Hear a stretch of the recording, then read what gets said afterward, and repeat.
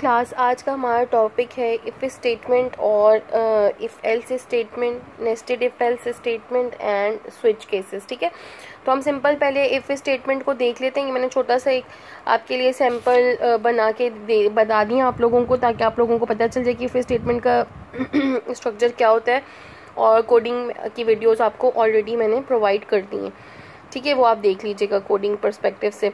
If statement की जो basic body वो स्ट्रक्चर होता है, वो क्या होता है? इफ़ और आपकी जो भी कंडीशन है, वो अगर ट्रू है तो ये ये स्टेटमेंट्स नंबर ऑफ़ स्टेटमेंट्स जो भी आपने इफ़ की बॉडी में दिए हुए, वो एग्जीक्यूट हो जाते हैं। ठीक है, ये सिंपल एक मैंने कोड दिखा दिया आपको, जो कि रन करके भी बताया मैंने। तो आप ये देख लें कि इस कोड में आपके पास क्या हो रहा है? सैलरी का एक इंटेजर ले लिया आपने यूज़र से इनपुट ले ली सैलरी सैलरी को कंपेयर कराए टेन थाउज़ेंड है तो आपके पास ये मैसेज आ जाए अदरवाइज़ ये आ जाए, ठीक है? तो ये आप रन करके देखिएगा कोड तो आपको पता चलेगा इफ़ स्टेटमेंट में आपके पास क्या हो रहा है। सेकंड में आपको दिखाती हूँ क्लास सेकंड में हमारे पास हमने क्या किया? इफ़ एल्स स्टेटमेंट चेक किया। इफ़ एल्स स्टेटमेंट में हमारे पास सिंपल क्या है? आपने इफ़ की कंडीशन देखी ट्रू है तो ये स्टेटमेंट आ जाए। अदरवाइज़ वो क्या हो जाएगा? डायरेक्ट एल्स की बॉडी में चल जाएगा और जो भी एल्स की बॉडी में स्टेटमेंट्स हैं, उनको एग्जीक्यूट करेगा। इफ़ की कंडीशन अगर ट्रू है तो वो इफ़ के स्टेटमेंट्स को एग्जीक्यूट करके एल्स को इग्नोर करके आगे चला जाएगा। अगर इफ़ की बॉड इफ़ की कंडीशन ट्रू नहीं है तो वो क्या करेगा? एल्स में आएगा इफ़ को इग्नोर करके एल्स में आएगा और एल्स की स्टेटमेंट्स को एग्जीक्यूट करके वो आगे प्रोग्राम को रन करेगा।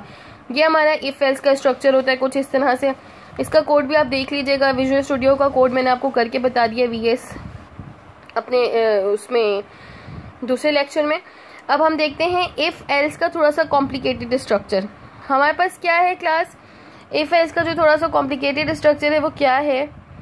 वो ये है, अगर हमारे पास इफ़ की बॉडी है इफ़ में एक कंडीशन हमने दी हुई है, और ये सॉरी ये नेस्टेड इफ़ है क्लास नेस्टेड इफ़ के अंदर हमारे पास क्या है? इफ़ कंडीशन ये इफ़ एल्स था सिंपल और अब हमारे पास नेस्टेड इफ़ आ गया।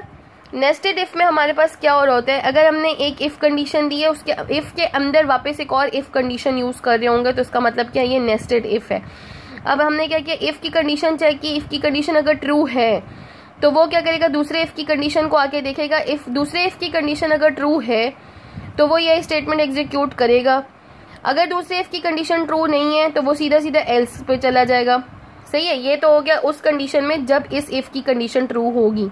अगर ये सिर्फ़ इफ़ की कंडीशन ही ट्रू नहीं है तो वो इस पूरे इफ़ एल्स को इग्नोर करेगा और वापस कहाँ चला जाएगा? एल्स की स्टेटमेंट पे। सबसे पहले दोबारा से देखते हैं, अगर वो इफ़ की कंडीशन सबसे पहले वो इफ़ की कंडीशन पे आएगा कंपाइलर और चेक करेगा कंडीशन ट्रू है या नहीं है। कंडीशन ट्रू होगी तो वो आगे जाएगा। आगे जाने के बाद वो क्या करेगा? वो चेक करेगा इफ़ की कंडीशन ट्रू है या नहीं। अगर इफ़ की कंडीशन नंबर टू जो है, वो कंडीशन नंबर टू ट्रू है तो वो स्टेटमेंट वन पर चला जाएगा। If state if condition number two is false then it will move toward else and it will go toward the statement number two और अगर कंडीशन वन ही false हो जाती है तो it will move directly towards the statement number three got my point class और nested if else का एक तरीका मतलब एक कंडीशन या सिचुएशन आपके पास ये भी हो सकती है कि एल्स में भी आप कंडीशंस दे दें। कैसे दे दें? ये देख लेते हैं हम। इफ़ कंडीशन वन ये सब मैं कोड में करके बता चुकी हूँ, आप वापस देखिएगा कोड की वीडियो आपको समझ में आएगा। इफ़ कंडीशन वन इफ़ अगर आपकी कंडीशन वन ट्रू है तो वो क्या करेगा? कंडीशन नंबर टू चेक करने के लिए इफ़ की बॉडी के अंदर आएगा। कंडीशन टू चेक करेगा। अगर कंडीशन टू है टू ट्रू है तो वो स्टेटमेंट वन एग्जीक्यूट करेगा। अगर कंडीशन नंबर ट्रू फॉल्स है कंडीशन टू फॉल्स हो गई तो वो क्या करेगा? एल्स इस एल्स की बॉडी में जाएगा और स्टेटमेंट नंबर टू को एग्जीक्यूट करेगा। अब ये किस कंडीशन में हो रहा है? कंडीशन वन ट्रू है, पर कंडीशन टू फॉल्स है, इसलिए स्टेटमेंट नंबर टू प्रिंट हो रहा है। लेकिन कंडीशन वन ट्रू है और कंडीशन नंबर टू भी ट्रू है तो स्टेटमेंट नंबर वन प्रिंट होगा।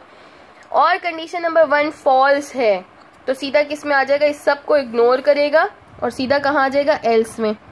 एल्स में आने के बाद क्या चेक करेगा? Condition number three condition number three true है तो स्टेटमेंट नंबर थ्री प्रिंट कर देगा। Otherwise condition number one false हुई एल्स में आया कंडीशन नंबर थ्री फॉल्स हुई एल्स में गया स्टेटमेंट नंबर फोर को डायरेक्ट प्रिंट कर दिया। ये सब आप कोड में करके देखेंगे, आपको तब ज़्यादा सही क्लियरली समझ में आएगा। अब हमारे पास आता है स्विच केस।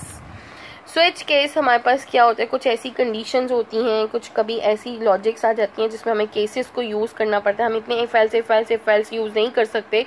तो अपने कोड को कॉम्प्लिकेशन से बचाने के लिए हम केसेस यूज़ करते हैं। हमने लेट सपोज़ एक स्विच दे दिया। ग्रेड्स का हमने एक एग्ज़ाम्पल ली है कोडिंग में। हमारे पास ग्रेड्स डिफरेंट होते हैं ए बी सी तो हमने ग्रेड्स के अकॉर्डिंगली केसेस बना लिए।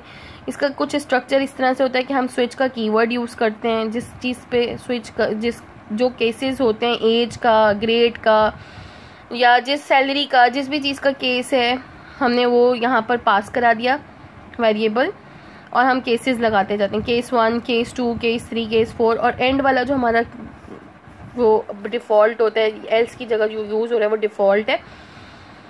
स्टेटमेंट जो यूज़ हो रहा होता है। अब क्या करते हैं केस इसका ये जो केस है, ये भी कीवर्ड है, ये ब्रेक भी कीवर्ड है, ये स्विच भी कीवर्ड है और ये डिफ़ॉल्ट भी कीवर्ड है, ठीक है?